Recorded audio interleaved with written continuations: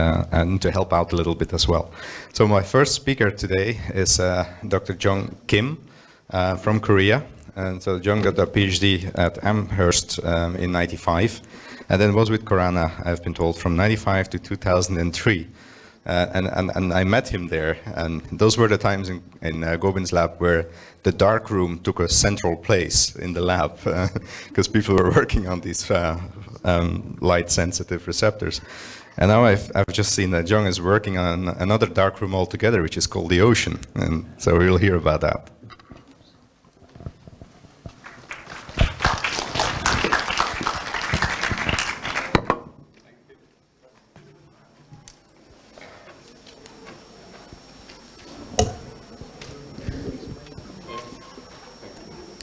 It's really my pleasure to be here in India. Actually, the I, I was trained by two Indian faculties. One, Shilda Sarma, who was my PhD uh, mentor in University of Massachusetts. And then I moved to Gobind's lab for quite, quite a while. And, and in addition to that, in our family, we believe that the, our great great grandmother came from India and then to start the, our family degree, in Kim's family. Okay. What I would like to introduce you today is uh, photoreceptors in fishery system and, and photoresponse. I would like to start my talk with a brief introduction about rhodopsin and light emitting diode, which I used for examining the photoresponse. And then I will go to the uh, spectral characteristics of fishery rhodopsins, and then I will talk about the construction of LED modules and behavioral monitoring system and photoresponse analysis. And vision is mediated by absorption of light by photoreceptor in our eyes. There are two kinds of photoreceptor cells in vertebrate. One rod cell is responsible for dim light vision, and cone cell is responsible for bright light and color vision. And rhodopsin is a photoreceptor responsible for dim light vision consisting of protein, opsin, and 11-cis retinal.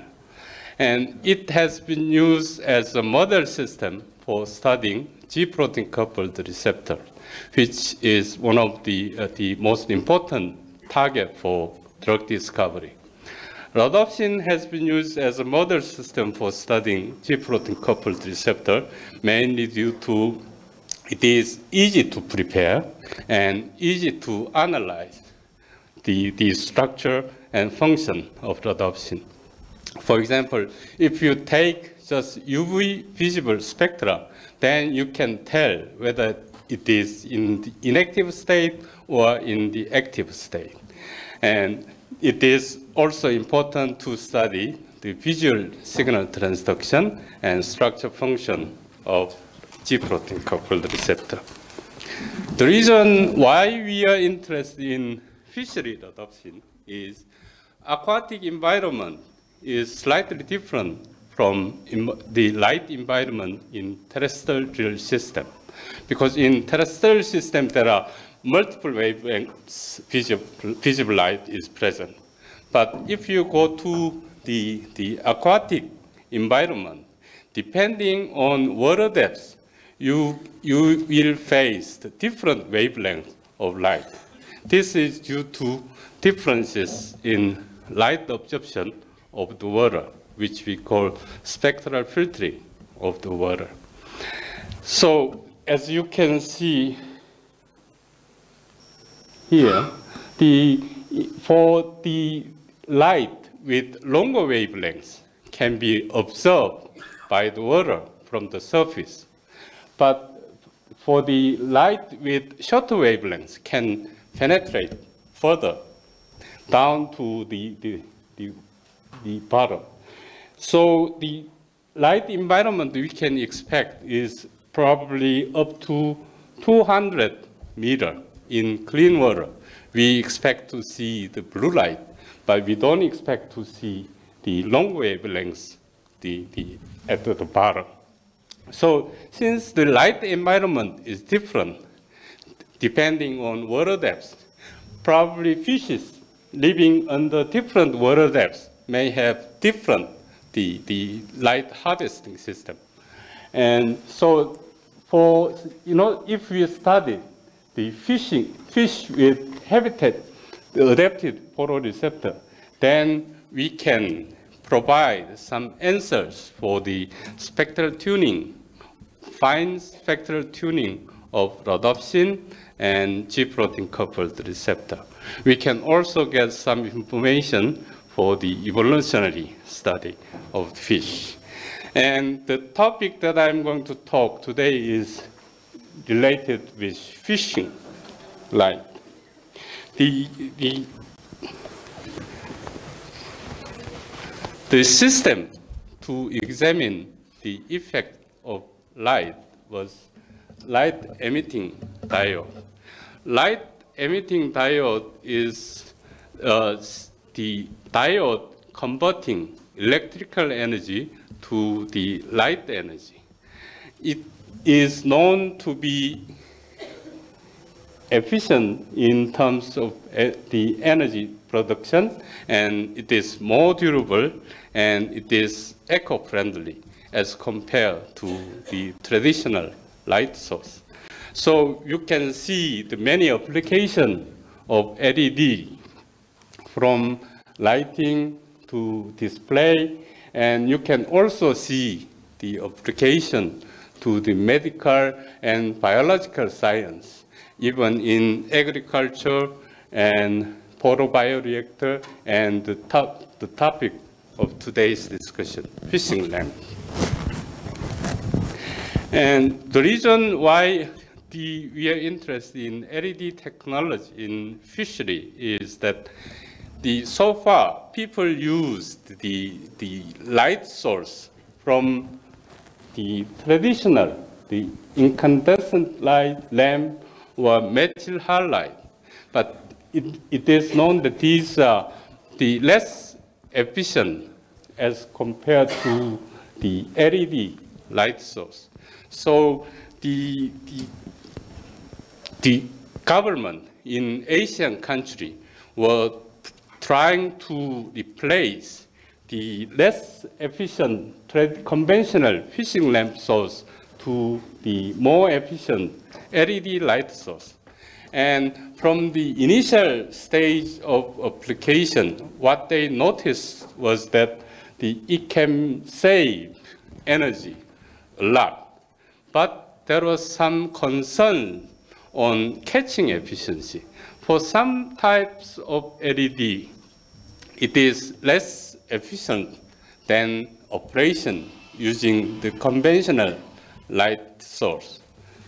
So the, what we thought was probably may, this may result from differences in the characteristics of light source between traditional light source and LED light source.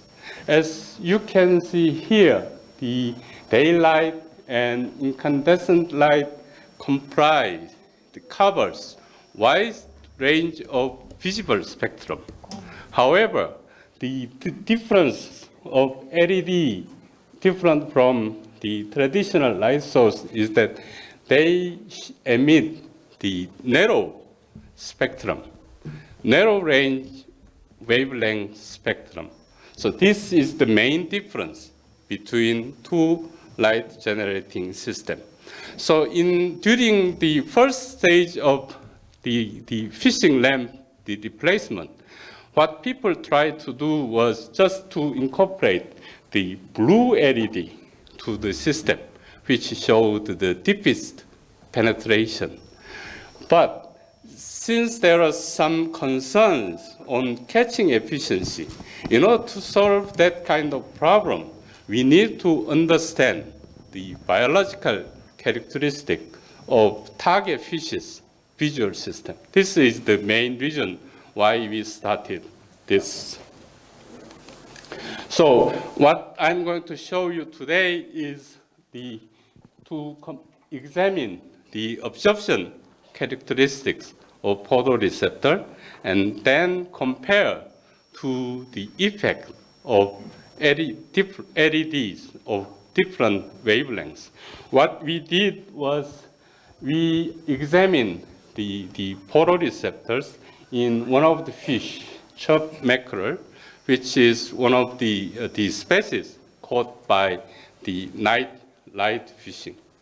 And another fish I, I'm going to show you is rock bream, which is common species used, produced by aquaculture in Korea.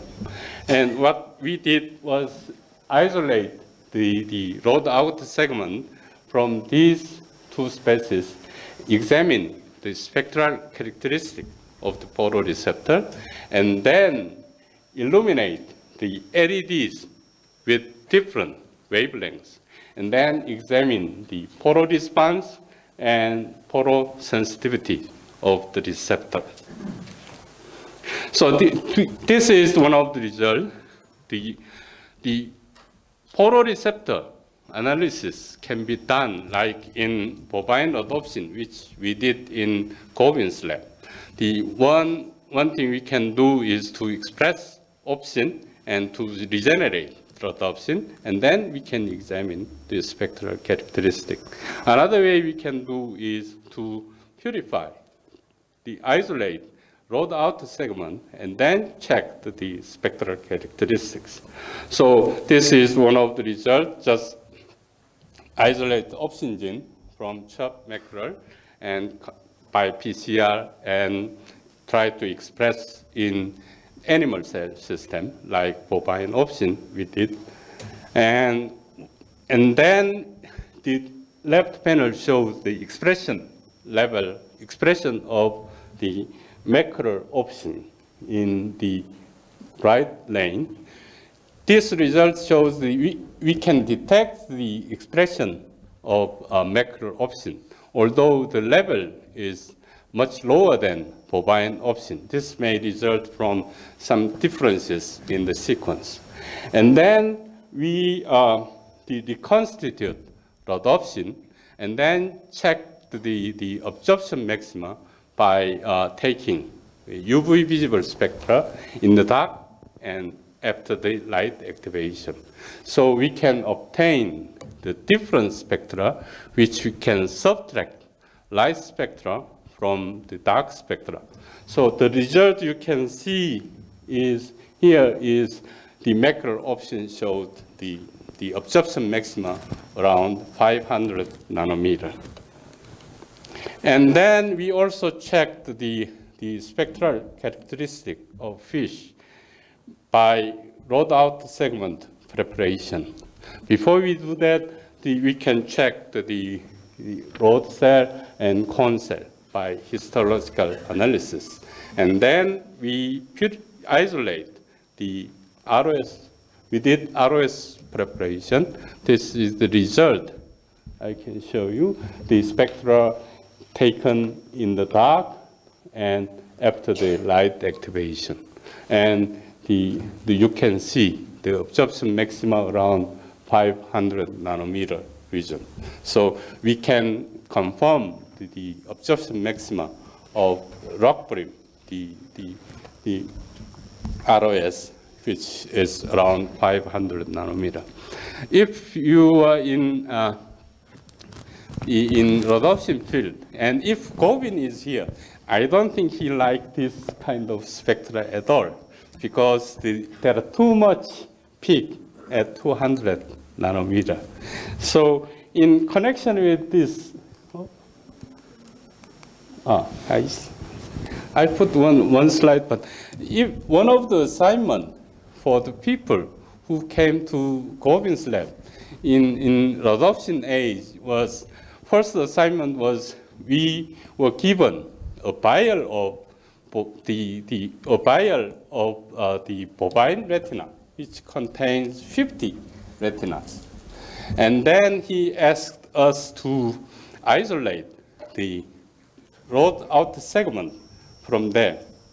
And the reason for the asking that is he asked us to, uh, to be accustomed with protein purification, especially in the dark, dark room. We should do the, all the preparation in the dark room.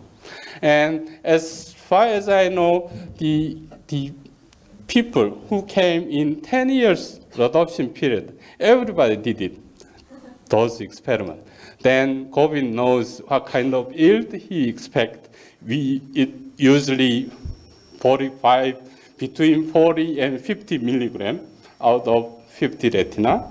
And then he also expect, I, I put one of slide, but it is somehow missing. The, as soon as he saw the, the spectra, then if he saw this one, the, the usually, if you have really purified the, the rhodopsin, then the ratio of 200 and 500 is one point between 1.7 and 1.8.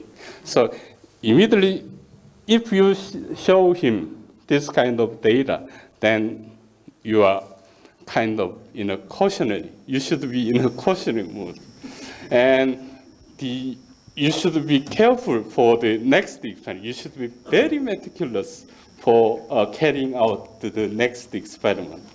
And another thing is you can, you can also see the 500 nanometer. So if he usually uh, asks us to show the elution profile and spectra in the dark and spectra after the light activation, then he can compare my result with the result in his brain from the old experience. So if you show him a good result, then you will probably okay for two to three months. but if there is something, some kind of the 380 nanometer peak in the dark spectra, then you are, he believes you are kind of person who is not meticulous enough to do the experiment in the dark room, like that. Anyway, this, from this experiment, he asked us to be accustomed to, to carry out the experiment in the dark room. And then, the, in order to examine the effect of light of specific wavelengths, we constructed the light LED module system.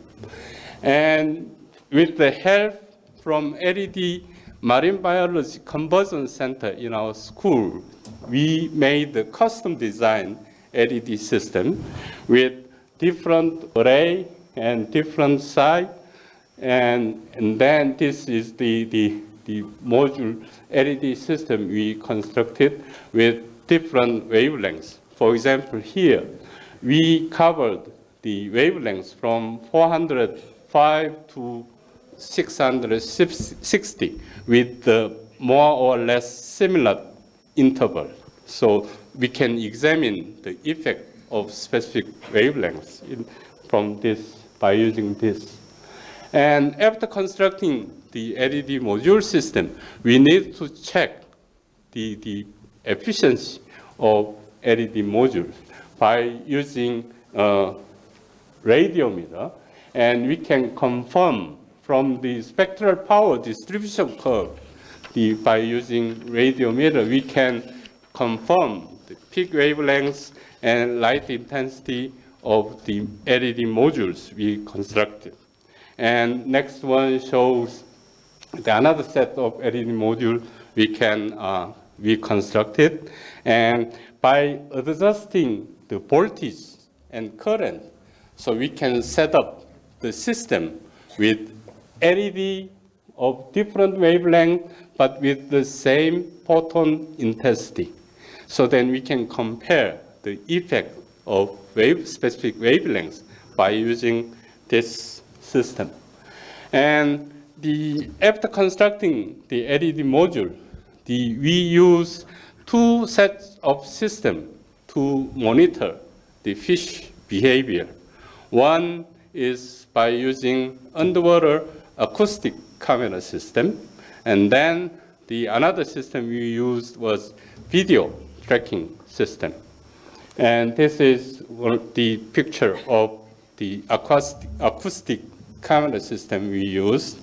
And then we the set up the system in a fish tank with uh, the three meter diameter, and then put the 20 fishes, 20 mackerels, chub mackerels in the tank, and then the, we the acclimate the fish in the dark, and then the illuminate with different wavelengths LED system. These are the system, LED system we set up for the experiment. And the experiment, the, the, way we did this experiment was this. First, we acclimate the fish in the dark, and, and then illuminate with different wavelengths.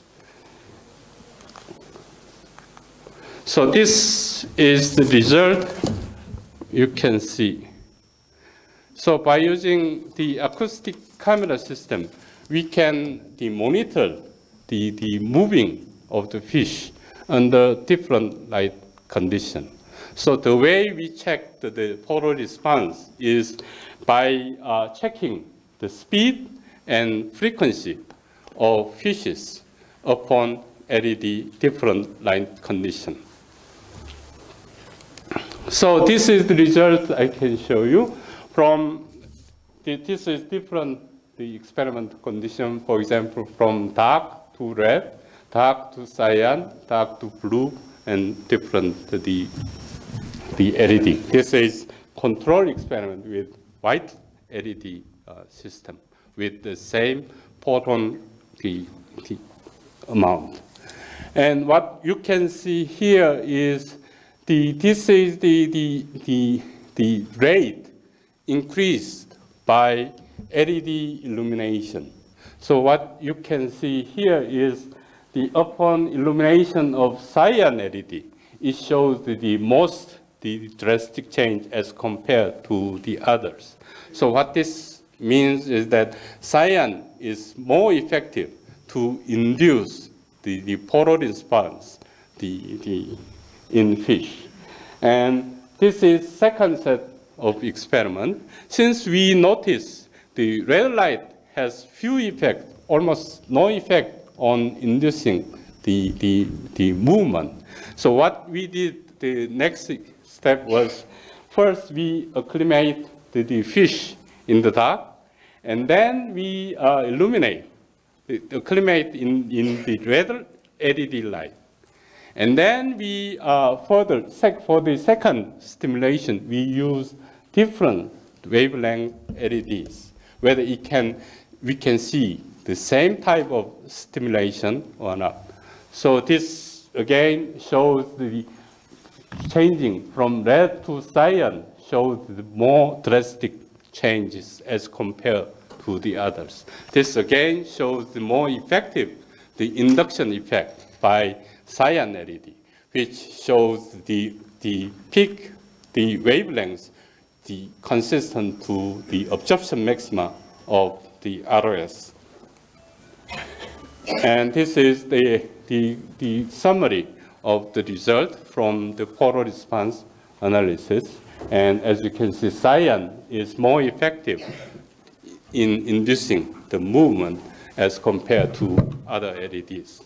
And the other system, the monitoring system we used was video tracking system. Basically, for, for the fishes which move slowly, we can use uh, it's okay to use this video tracking system.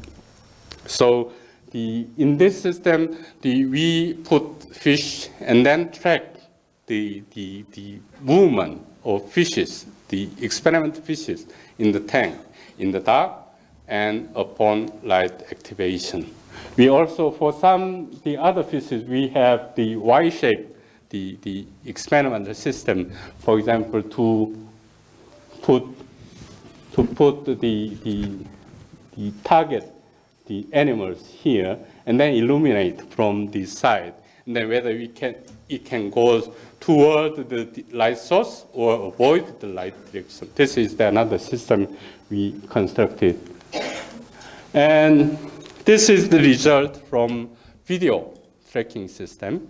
As you can see, it's similar to the, the previous result. Cyan is more effective in inducing the photo response in fish.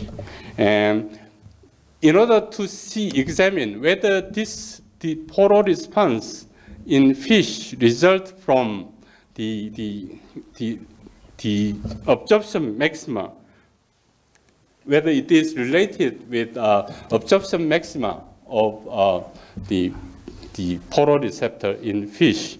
What we did this, in this experiment was we have ROS purified and then illuminate the, the ROS, the preparation the, with red LED and then and different LED system. And then we examine the level of decrease in the photoris in the level of photoreceptor. What you can see here is the again the cyan is more effective in photosensitivity reaction. So as compared to the others. So overall, you, what we can see here is the effect of the, the effect on photosensitivity and photoresponse result indicates that the 505 nanometer LED is more effective than the other the LED with different wavelengths. And this is same the, the result with we can see in photoresponse and um, the photosensitivity of ROS preparation. So this is a summary of the result. So we examine the absorption maximum of the ROS in fish, which turned out to be around 500 nanometer. And we examine the effect of LED of different wavelengths. And then the, the, the, the conclusion we have is light with wavelengths close to the, the absorption maxima of photoreceptor is more effective than the other LED, the which, of which the, the wavelength is distant from the, the, the absorption maxima of the photoreceptor. And this may be applicable to the, the plant system. The, when, if you, the, one of the, the application could be if you want to grow the plant by using LED, then you may better to check the absorption spectrum of the chlorophyll and the, in, in the plant. So then you may have better the, the efficiency in growing the plant. And this is uh, all I have for the research, but I would like to share a few slides of Gobind. And this is the photo that I took from Japan meeting. And I also, this is the photo that I took in 2007 in Gobind's place in Cambridge, and when I visited the, the Cambridge. And this is same photo the Joydeep showed. Now you know who took this picture. So I have this photo, but I am not in the photo. So you may guess. And this is the last one. And this is the, the, the, the kind of uh, preparation that I got when I left the lab and in 2003. So as you can see, we always, like other group photo, we always have the same group meeting with Tom's group. And you can see our great mentor, Gobind and Tom. And he, you can recognize Judy.